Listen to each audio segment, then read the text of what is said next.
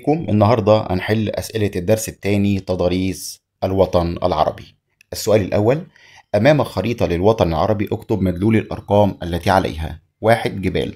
هنبص على المؤشر الجبال اللي هنا بتقع في شمال غرب الوطن العربي وهي جبال أطلس. اتنين جبال طبعا موجودة هنا عند دولة مشرفة على مضيق اسمه مضيق هرمز. طبعا عندنا دولة عمان وجبال عمان. تلاتة جبال الجبال اللي هنا اسمها جبال الشام. أربعة جبال طبعا الجبال اللي موجودة في الحتة دي في الجزء الشمالي الشرقي هي جبال كردستان. خمسة جبال تقع في شمال شبه الجزيرة العربية في المرتفعات بتاعتها فهي جبال الحجاز. ستة جبال طبعا عندنا في مصر هي جبال البحر الأحمر.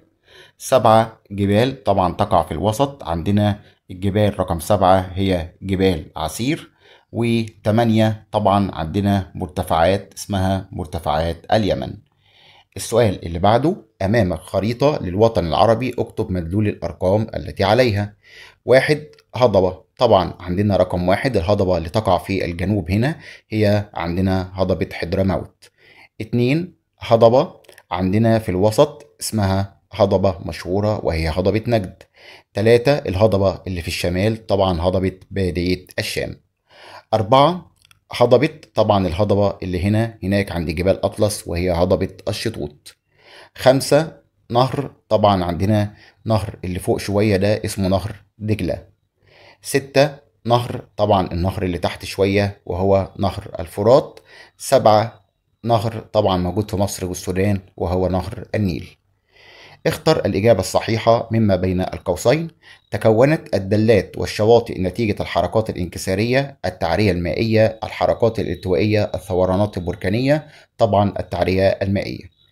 اتنين من الجبال الالتوائية في الوطن العربي جبال البحر الأحمر كردستان الشام اليمن. طبعا عندنا جبال التوائية هي جبال كردستان. ثلاثة أدى تعرض الصخور الصلبة بالوطن العربي لحركات باطنية إلى تكون جبال أطلس ولا الشام ولا كردستان ولا زاجروس الإجابة هتكون جبال الشام. آه رقم أربعة تعد جبال نقط من الجبال الانكسارية في وطننا العربي الحجاز عمان كردستان زاجروس طبعا الإجابة هتكون جبال الحجاز. خمسة تقع هضبة الشتوت بين سلاسل جبال البحر الأحمر الشام أطلس عمان. الإجابة هتكون جبال أطلس. ستة يظهر أثر الحركات الانكسارية في الجناح العربي الإفريقي في الجهات الشرقية الغربية الجنوبية الشمالية طبعا في الجهات الشرقية. سبعة أيا من عوامل تشكيل سطح الأرض التالية كانت سببا في نشأة جبال أطلس. الثورانات البركانية الحركات الانكسارية الحركات الالتوائية التعرية الهوائية الإجابة هتكون الحركات الالتوائية. 8 يرجع تكون المرتفعات في غرب السعودية إلى الحركات الالتوائية الحركات الانكسارية التعرية المائية الثورانات البركانية الإجابة هتكون الحركات الانكسارية. تسعة تمتد جبال البحر الأحمر بالجناح العربي الإسيوي في دولتي العراق وسوريا السعودية واليمن سوريا ولبنان عمان وقطر طبعا الإجابة السعودية واليمن. عشرة تحصر جبال الشام عدة سهول تجري فيها الأنهار مثل نهري الليطاني والفرات الليطاني والعاصي دجلة والفرات العاصي ودجلة الإجابة الليطاني والعاصي. 11 تعتبر هضبة نقط من هضاب الجناح العربي الإفريقي بادية الشام نجد الشطوط حضرموت الإجابة عندنا هضبة الشطوط. السؤال اللي بعده 12 تقع هضبة حضرموت في نقط شبه الجزيرة العربية شمال جنوب شرق وسط طبعا حضرموت تقع في عندنا الجنوب. 13 تقع واحة الكفرة في دولة مصر ليبيا السودان الصومال الإجابة دولة ليبيا. 14 يظهر تأثر مظاهر سطح الجناح العربي الآسيوي بالثورانات البركانية في الجزء الجنوبي الشمالي الشرقي الغربي طبعا في الجزء الجنوبي.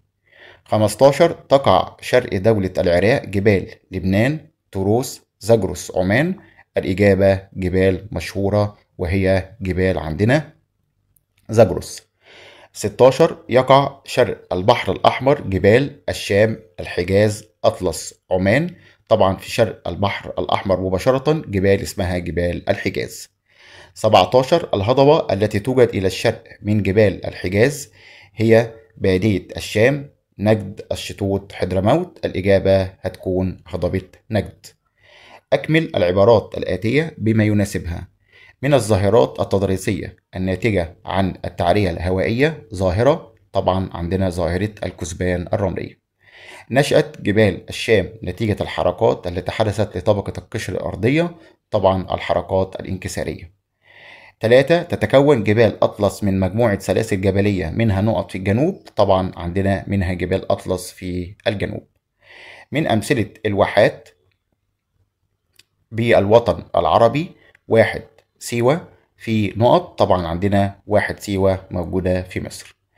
تنقسم السهول في وطننا العربي إلى فيضية وساحلية وطبعا سهول صحراوية. خمسة اكتب كلمة صواب أمام العبارة الصحيحة وكلمة خطأ أمام العبارة غير الصحيحة مع التصويب. تظهر الهضاب البركانية بوضوح في جنوب غرب شبه الجزيرة العربية. الإجابة صواب. اتنين تعتبر جبال عمان من الجبال الالتوائية بالوطن العربي. طبعا الإجابة هتكون عندنا صواب. ثلاثة من أمثلة الجبال الانكسارية جبال أطلس. طبعا الإجابة خطأ جبال أطلس جبال التوائية أو ممكن نشيل أطلس ونحط الشام. تعرف جبال البحر الأحمر في السعودية بجبال كردستان وجبال زاجروس طبعا الإجابة خطأ بجبال الحجاز وجبال عسير. خمسة تمتد هضبة نجد في وسط ليبيا. طبعا الإجابة هتكون خطأ في وسط شبه الجزيرة العربية. ستة الواحات والأودية الجافة من الظواهر الطبيعية التي تتميز بها هضاب الوطن العربي. طبعا الإجابة صواب. سبعة وادي العلاقي من أمثلة الأودية الجافة في مصر. طبعا الإجابة هتكون صواب. 8 السهول المطلة على الخليج العربي من السهول الساحلية بالجناح العربي الإفريقي. الإجابة هتكون خطأ بالجناح العربي الأسيوي. تسعة من السهول الفيضية بالوطن العربي سهول نهري جوبا وجبيلي في العراق. طبعا الإجابة خطأ في الصومال. عشرة تتميز السهول الفيضية بمصر والعراق بالتربة الخصبة. لذلك ترتفع بها الكثافة السكانية. الإجابة صواب. 11 السهول الساحلية أكثر تنوعا في مواردها الاقتصادية من السهول الفيضية الإجابة صواب. 12 تكونت الإرسابات الرملية بفعل الرياح طبعا الإجابة هتكون صواب. السؤال اللي بعده 6 اكتب المصطلح الجغرافي الذي تشير إليه كل عبارة مما يأتي. هضبة تمتد من جبال البحر الأحمر شرقا إلى ساحل المحيط الأطلنطي غربا طبعا هضبة أفريقيا الشمالية. اتنين أرض منخفضة في الصحراء يعيش بها السكان وتربى فيها الحيوانات طبعا عندنا الواحات. تلاتة أودية كانت تجري بها مياه الأمطار في العصور القديمة ثم جفت طبعا اسمها الأودية الجافة أربعة سهول كونتها الأنهار عن طريق ترسيب المواد العالقة بمياهها طبعا السهول الفيضية. سبعة أي من الجبال الآتية جبال انكسارية وأيها جبال التوائية طبعا عندنا جبال كردستان جبال التوائية جبال البحر الأحمر طبعا انكسارية جبال لبنان طبعا عندنا جبال انكسارية وجبال أطلس التل هي جبال التوائية. السؤال اللي بعده بما تفسر تنوع تضاريس الوطن العربي. طبعا بسبب اختلاف عوامل تشكيل سطح الوطن العربي ما بين عوامل باطنية وعوامل خارجية. عوامل باطنية حركات التوائية حركات انكسارية صورانات بركانية. أما العوامل الخارجية التعرية المائية والتعرية الهوائية. اتنين تكون الكثبان الرملية في وطننا العربي بسبب تعرض سطح الوطن العربي للتعرية الهوائية حيث تنحت الرياح للصخور ثم تنقلها وترسبها مما ينتج عنها أشكال سطح متعددة كالكثبان الرملية. تلاتة واحد سيوة آهلة بالسكان بما تفسر ليه طبعا بسبب وجود الأراضي الخصبة الصالحة للزراعة والمياه الجوفية العذبة. أربعة للأودية الجافة بالوطن العربي أهمية كبيرة طبعا حيث تستخدم كطرق مواصلات ويسهل الحصول منها على المياه الجوفية. سهولة الحصول على المياه الجوفية في مناطق الأودية الجافة طبعا لأن مياه الأمطار كانت تجري بها قديما فتسربت إلى باطن القشرة الأرضية وكونت المياه الجوفية. ستة ترتفع الكثافة السكانية في مناطق السهول الفيضية. طبعا ترتفع لأن السهول الفيضية تربتها خصبة صالحة للزراعة لذلك يعمل معظم بها السكان في في آه، نشاط الزراعة. الأهمية الاقتصادية للسهول الساحلية على البحر الأحمر والخليج العربي. طبعا البحر الأحمر والخليج العربي بيتميزوا بوجود الثروات المعدنية ومصادر الطاقة. ما النتائج المترتبة على الحركات الانكسارية؟ طبعا ترتب على ذلك إصابة الصخور الصلبة فأدت ارتفاع بعضها مكونة الجبال وانخفاض بعضها مكونة البحار ما النتائج المترتبة على حدوث الثورانات البركانية في الوطن العربي؟ طبعا ترتب على ذلك ظهور الجبال والهضاب البركانية مثل هضبة اليمن بالجناح العربي الآسيوي ثلاثة ترسيب المواد العالقة بمياه الأنهار على جانبيها طبعا ترتب على ذلك أدى إلى تكوين السهول الفيضية التي تتميز بخصوبة التربة وصالحة للزراعة وترتفع بها الكثافة السكانية. أربعة تنوع أشكال ومظاهر السطح في وطننا العربي طبعا يرجع ذلك إلى تنوع الموارد الاقتصادية وتنوع توزيع السكان. دلل جغرافيا على صحة كل عبارة للحركات الالتوائية أثر على مظاهر السطح في وطننا العربي. يعني هتشوف الحركات الالتوائية ترتب عليها إيه؟ ترتب عليها وجود جبال أطلس وجبال عمان وجبال كردستان وجبال زاجروس اتنين توجد بعض المناطق الزراعية في الصحاري العربية. طبعا الدليل على ذلك توجد بعض الواحات في الصحاري العربية تتميز بخصوبة التربة مثل واحد سيوة في مصر وواحد الكفرة في ليبيا. ماذا يحدث إذا؟ لم يتأثر الجناح العربي الآسيوي بحدوث البراكين قديما. هننفي أي حاجة ترتبط على البراكين؟ هنقول لن تتكون الجبال والهضاب البركانية مثل هضبة اليمن.